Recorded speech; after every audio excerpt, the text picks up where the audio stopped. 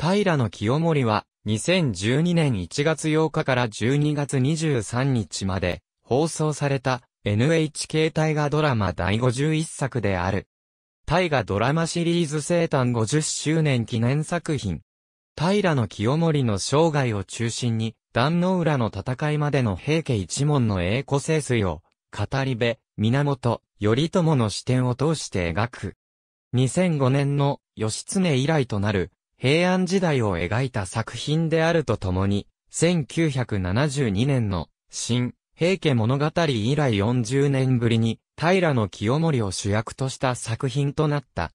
松山健一の NHK 大河ドラマ初主演作。大河ドラマの枠を拡大する形で前年まで放送された坂の上の雲の終了に伴い、通年放送の大河ドラマはこの作品から再び12月終了に戻った。2010年8月4日に NHK 放送センターで制作発表が行われたが、その際にこれまでの大河とは異なる試みとして番組のイメージを示したビデオが公開された。このビデオは当日の NHK のテレビニュースでも一部が流された。主人公、平野清盛役の松山は、制作発表にて、一族の絆を描く平安のゴッドファーザーという作品のテーマに興味を持った自身の志願を受けた起用について、日本を元気にするような作品にと抱負を述べている。ドラマの語り部となる源頼朝役には、岡田正樹が起用されることが2011年8月8日に発表された。岡田は大河ドラマ史上最年少の語り担当となる。クランクインは2011年8月19日、岩手県欧州市で、東日本大震災発生以来初となる NHK ドラマでの東北地方での大規模ロケを観光して開始された。また大河ドラマ史上初の試みとして、東日本大震災の被災者らを招待しての交流会を得さし、藤原の里で行った。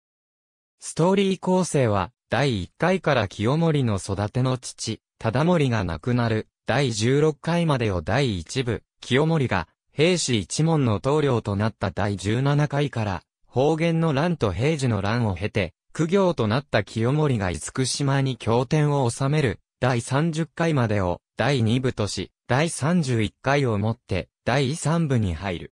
これに合わせて、オープニングの映像にも変化があり、第1部、第2部の武者装束の若き清盛が矢を放つカットが、第3部では、壮年期の清盛が脳死姿で扇を手に舞いを舞う、姿に差し替えられている。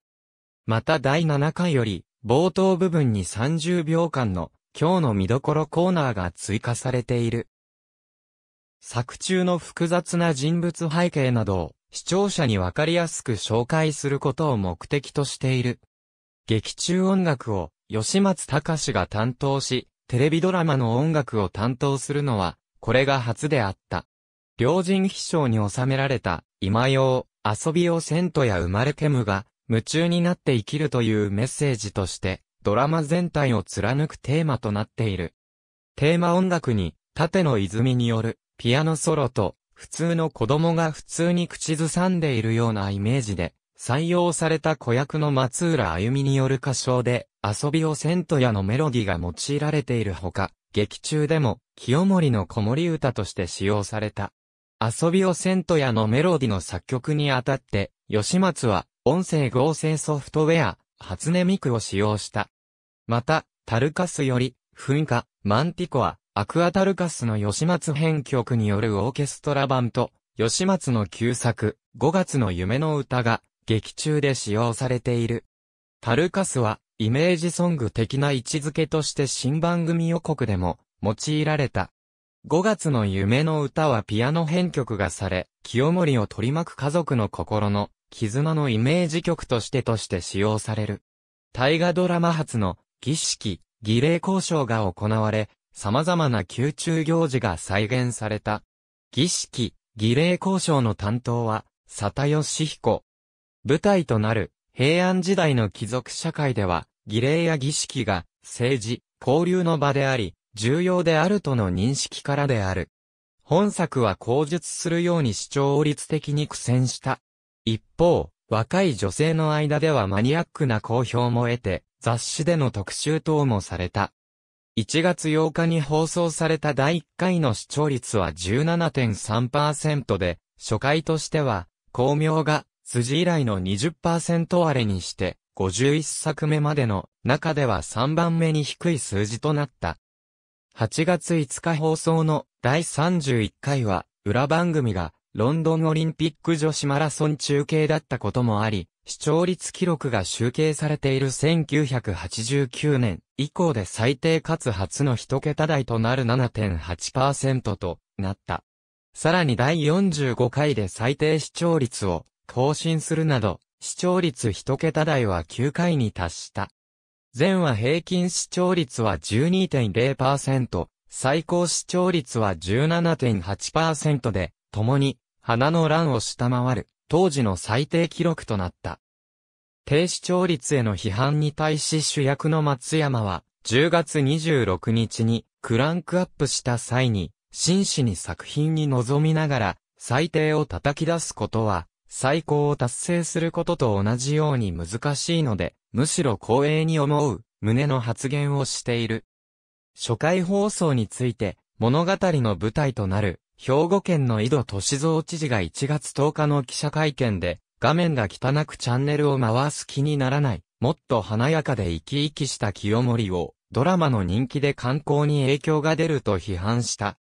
一方、神戸市の矢田達夫市長は1月11日の記者会見で、実際の時代背景、当時の状況も考慮したセットを使っており、制作側の一貫した思いがあると思う。違和感はなかったと発言している。また本作では、法王、上皇を中心とする家を表現する用語として、王家という用語が採用され、ドラマ内で王家のセリフが多く使われている。時代交渉を担当した本郷和人は、天皇、上皇らをファミリーとして考える概念が出現していないため当時の言葉では、王家、天皇家の用語は使用されていないとし、天皇家と呼んでも、王家と呼んでも、間違いではないが、制作スタッフの間で天皇の家を何と表現するか真剣な討論がなされ、現在の学会で市民権を得ている。王家の故障を採用する、要学問的見地から提案したとしている。なお、歴史学者の黒田敏夫が提唱した、王家という用語には、異論も存在している。番組が、王家という用語を使用したことについては、インターネットなどで、天皇家の権威を貶める表現、皇室もしくは天皇家と呼ぶべきといった反発がある。その根拠として、歴史的に中国では皇帝が最も位が高く、朝鮮など近隣諸国の王を従えていると考えられてきたこと、韓国のメディアが日本の天皇を部別の意味を込めて王と呼ぶ場合があることなどがあるが、本郷は皇室を貶めるものではないと説明している。磯智明番組チーフプロデューサーは、学説でも、王家でまとまっているわけではないとし、王家の使用は、ドラマの中で留めるものと説明している。この問題は、同年の参議院総務委員会、NHK の予算審議の一質問として取り上げられ、NHK 会長が、平安末期から鎌倉期にかけての中世史研究の専門家の主張に基づき、王家という言葉を使用したと回答した。6月21日の放送では、E テレなどで放送中の番組、ドラマチックアクターズファイルの公式ツイッターアカウントを利用して、試験的に本作プロデューサーの磯智明が番組解説を行うという取り組みが行われた。19時頃より順次解説を始め、20時の番組開始からはリアルタイムでの実況解説を、また番組終了後も視聴者からの質疑応答を交えながら補足解説などを行った。なお同ツイートでは出演者の久保田正孝と高橋愛もコメントを残している。後に公式アカウントが正式に発足し、2012年10月21日、現在のフォロワーは1万8000人を超えている。この企画は7月8日の放送以降でも不定期に行われている。こういった放送と同時進行の解説は大河ドラマ史上初のことであった。ツイッターが公開した2012年における会話のトレンドの動向をまとめたイヤーオンツイッターでは、本作は話題になったテレビドラマの1位を獲得している。放送中、公式ツイッターには視聴者による本作を題材としたパロディア、俳優の似顔絵などのイラストが自然発生的に多数寄せられており、これらは精鋭と呼ばれている。寄稿しているのは一般視聴者であるが、中には、ゆうき、まさみ、北崎拓、門田明子、久絶学子、高田明美、折原美と、雲野津波、うにた由美などのプロの漫画家、イラストレーターの参加者もあった。イラストは主にツイッター上の画像投稿機能で受け付けられているが、公式サイトでも画像投稿フォームにて募集が行われていた。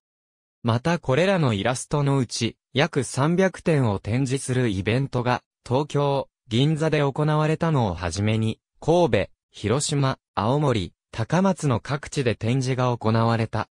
2016年2月19日に TBS ラジオの番組、荻上チキセッション -22 内で、今夜決定。最高の大河ドラマという特集が放送され、同番組リスナーや出演者が一人一票で投票した順位の結果が発表された。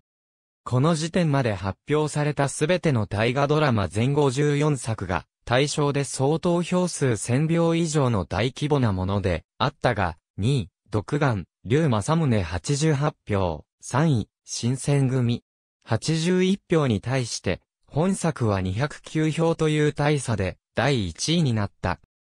この結果について、番組内で、時代劇研究家、春日太一は、視聴率が悪かったためにむしろ熱心に見ようという人が多かった。とにかく人物関係をかなり細かく詳しくやった。ネットとともに熱心に見ないといけない作品だったから、見る側の熱量は強かった等とコメントした。文治元年、鎌倉の源頼朝のもとに、旧敵、兵士一門が壇の浦に滅んだとの一報がもたらされる。喜びに沸き、かつての兵士の棟梁、平清盛を罵る、御家人たちに対し頼朝は思わず、平清盛なくして、武士の世はなかった。と叫んでしまう。そして、頼朝は、武士の時代の礎を築いた男の一生に思いを馳せる。人物の歴史上での詳細は、該当人物記事を参照。平家一族、平家の女性たち、平家の家人と丸の一等源氏一族、源氏の女性たち、源氏の家人摂津源氏の一族皇族本編中では、天皇は、帝、上皇、法王は、陰と表記される。宮中の女性たち藤原石棺家信仰貴族その他の、苦行宮塚への女性たちその他の貴族北面の、武士比叡山延暦寺厳島社伊藤や北条や、欧州藤原氏、源氏方の東国武士、平家方の東国武士、平の清盛の大事の右側に、大河ドラマのクレジットが入る。各界視聴率下記はいずれも総合テレビでの放送日程。先んじて、BS プレミアムでは2012年12月30日の18時から一挙3話を連続放送。各59分。ブルーレイボックスと DVD ボックスがジェネオンユニバーサルから発売。神戸で清盛ドラマ館。ありがとうございます。